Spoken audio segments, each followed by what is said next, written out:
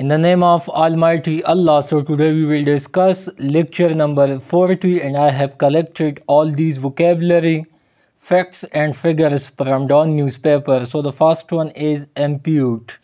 So its meaning is attribute or credit to a cause or source. So it's called impute. Next one is effusion. So the meaning of effusion is an unrestrained expression of emotions. So it's called effusion. Next one is crotchet.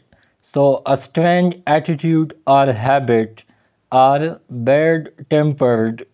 Next one is cognizant.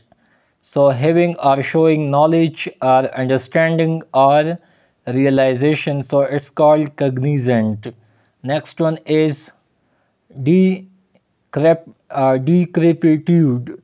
So the meaning of decrepitude is a state of deterioration due to old age or long use. Next one is infernal. So uh, something which is resembling like a hill or characteristics of a resembling a hill. So it's called infernal or in simple words infernal related to hell. Next one is prodigious. So great in size, force, extent or degree. Next one is credence. So the so the meaning of credence is the mental attitude that someone something is believable. So it's called credence. Next one is redux. So brought back next one is lingu so a characteristics language of a particular group so it's called lingu and this word has been extracted from linguist or linguistics. Next one is plaudits. Uh, so to acknowledge to admire to elate and to praise someone or something so it's called plaudits. Next one is strident. So unpleasantly loud and harsh next one is preclude. So prevent make impossible. So it's called preclude.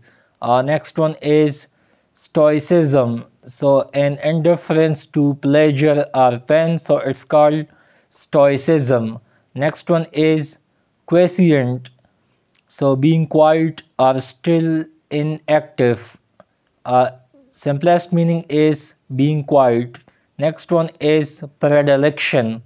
So liking for or preference. So it's called uh, predilection forecast prediction. All these are the synonyms of predilection. Next one is quizzical. So the meaning of quizzical is perplexed confusion complex. Next one is profundity. So its meaning is uh, depth of ideas or knowledge. Uh, next one is quiddity so its meaning is individualism singularity oddity or erraticism. So it's called quiddity next one is proponent. So supporter. And next one is quisling uh, so the meaning of quisling is double crosser, traitor, backstabber. Next one is pliant. So the meaning of pliant is flexible. Serpent, betrayer are also the uh, synonyms of quisling. Pliant meaning is flexible. Next one is colloquium. Uh, so an an address to an academic conference or meeting so it, it's called colloquium next one is debauch so corrupt morally or excess someone who is or uh, involved or indulgence in sex alcohol or drugs. So it's called debauch. Next one is prosaic.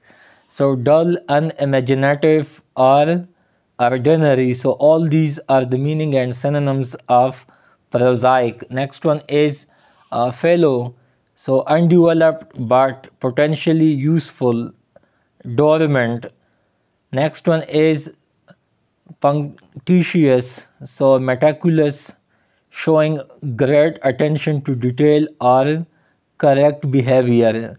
But, but the simplest meaning of puncti punctilious is uh, someone who is meticulous or showing great attention to minute detail. Next one is uh, purportedly so its meaning is apparently claiming or is stated so it's called purportedly. So it's all for today. If you people have any question so you can ask freely. Thank you and good luck